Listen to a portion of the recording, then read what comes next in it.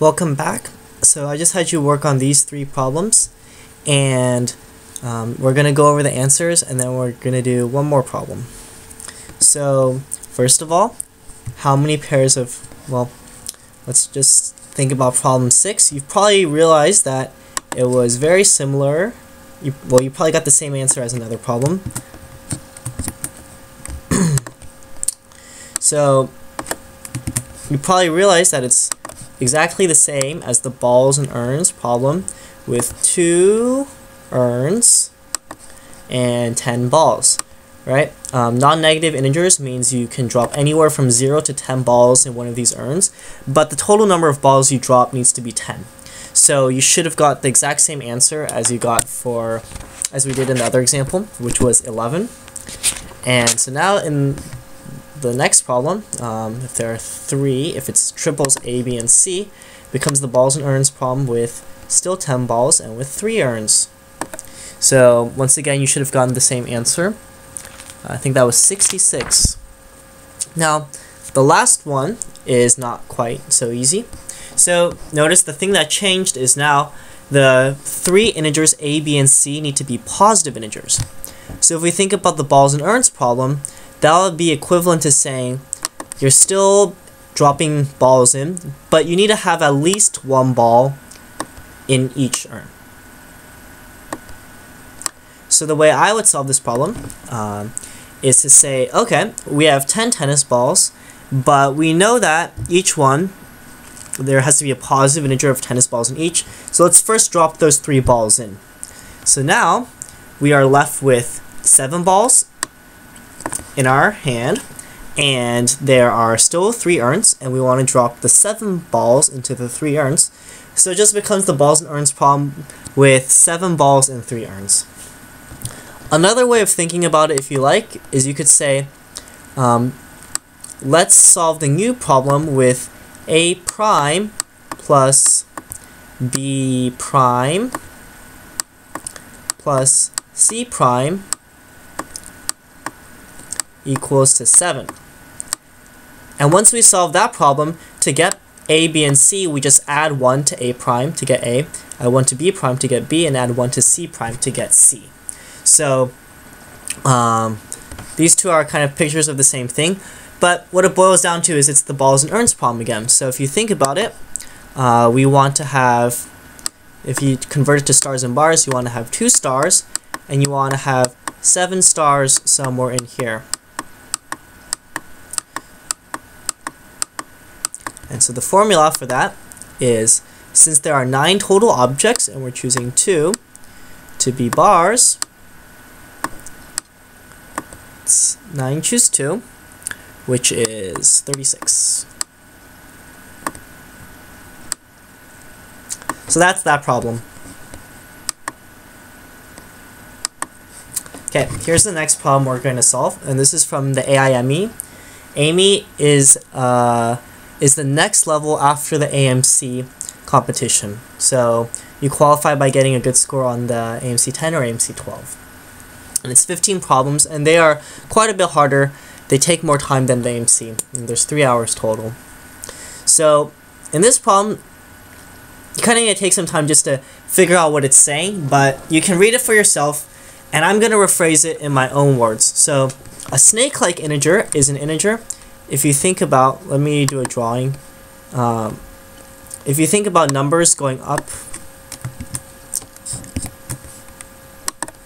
you think about the numbers 1, 2, 3, and going up to 9, a snake-like integer starts at a low number, a low digit, goes to a higher digit, comes back down to a low digit, and then goes back up to a higher digit. And what matters is that between these two digits, it first goes up, and then it goes down, and then it goes up again. But it could also be a pattern something like this, right? That's okay. So there are different ways you can get snake-like integers. So let me just write out a few examples. Um, so 1, 3, 2, 4 would be an example of a snake-like integer. It goes up, then down, then up. Oh, uh, specifically we're asking for um, snake-like integers with four distinct digits. So you can't repeat digits, and also it needs to be between 1000 and 9999, so we know it can't start with a zero. That, that um, because if it's 0 it would be a little bit confusing. Um, so here's one example. Another one is 3, 4, 1, 7. And final example is 6, 8, 0, 1. So notice that we're allowed to have zeros in the number. We just can't have a zero in the first spot. But because zero is kind of in a in a weird place, it can't be in the first spot, but it can be in one of the other spots. We are going to divide into two cases for this problem. So in case one, cases, in case one, we're going to say that all the digits are between 1 and 9. And in case 2, we're going to say that there is a digit 0. So we're going to divide into two cases. And in this video, I'm just going to show you how to solve case 1, and I'm going to leave case 2 to yourselves to do. So in case 1, we have we want to count the numbers with four distinct digits chosen out of 1 to 9, but they have to be snake-like when we choose them. So um, we can't just choose them in any order. Now the question is, um, you know that this is a section on bijection, so the question is how do we solve this with a bijection? So what we're going to do is we're going to create the following bijection. We're going to take a snake-like integer. Here, let me say it another way. So on this, we have two sides. On this side, we have snake-like integers, and on this side, we have four sets of four digits. Four digits. Um, so as an example, we can say that the set uh, 1, 3, 5, 7 is a set of four digits. And now from 1, 3, 5, 7, we want to ask how many snake-like integers can we make? So um, there are five ways to do that, it turns out, if you think about it. So I'm going to draw the four, um, one, three, five, and seven as four different levels. Actually, I don't think I want to do that. Uh, I don't want to draw it out, but I just want you to think about it. So, so suppose we had four different levels.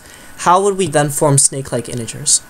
Well, one is to start from the lowest number, go up to the third, come down to the second, and go up to the fourth. So in this case, that would be the number 1357.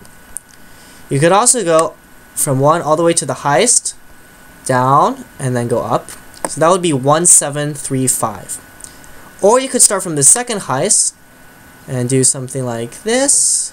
So this would be 3517. You could also do 3715 and finally, you could start from the third highest, in this case 7, and go 7, 5, or sorry. So you start from the third highest, which is 5, and go 5, 7, 1, 3. So it turns out, as you can probably see that for any set of 4 digits, distinct digits, we can make 5 snake-like integers out of that. So this is not, uh, so this is a special type of bijection where instead of having a one-to-one -one correspondence, we have a one-to-five correspondence. So we can group the snake-like integers on this side into groups of five and then match them up with sets of four digits. So now we're ready to solve case one. So case one, we first count the number of ways to choose four digits between one to nine. So that would just be nine choose four.